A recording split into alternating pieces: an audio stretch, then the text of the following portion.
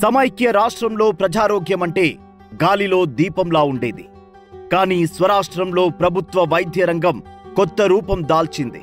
నేను రాను బిడ్డో సర్కారు దవాఖానకు అనే దశాబ్దాల దుస్థితి నుంచి పోదాం పద సర్కారు దవాఖానకు అనే భరోసా వచ్చింది. నాడు ప్రభుత్వ ఆసుపత్రి అంటే దైన్యం. నేడు ప్రభుత్వ ఆసుపత్రికి వెళ్తే ఒక ధైర్యం. ఇలా ఆరోగ్య తెలంగాణ సాధన దిశగా బీఆర్ఎస్ ప్రభుత్వం తీసుకుంటున్న చర్యలు వైద్య రంగంలో విప్లవం సృష్టిస్తున్నాయి.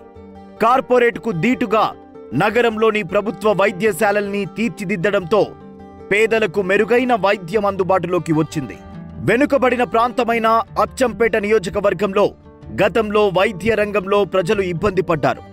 గతంలో సరైన వైద్యం అందక ఎంతో మంది నాగర్ కర్నూల్ మహబూబ్ నగర్ హైదరాబాద్కు వెళ్ళేవారు అత్యవసర పరిస్థితుల్లో వైద్యమైతే అందుబాటులో ఉండేది కాదు.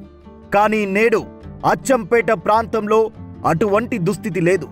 ఒకనాటి ఇబ్బందికర పరిస్థితుల్ని దృష్టిలో పెట్టుకుని గువ్వల బాలరాజు గారు ప్రత్యేక చర్యలు తీసుకున్నారు.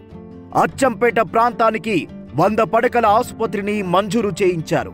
అచ్చంపేటలో దాదాపు ఇరవై కోట్ల రూపాయలతో వంద పడకల ఆసుపత్రి నిర్మించారు.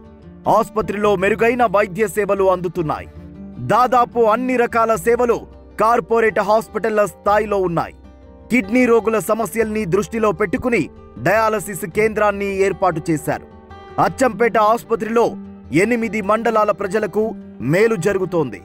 ఎమర్జెన్సీ పేషెంట్లను ఇతర ప్రాంతాలకు తరలించేవారు. కానీ ఇప్పుడు అన్ని రకాల వైద్యం స్థానికంగానే అందుతోంది.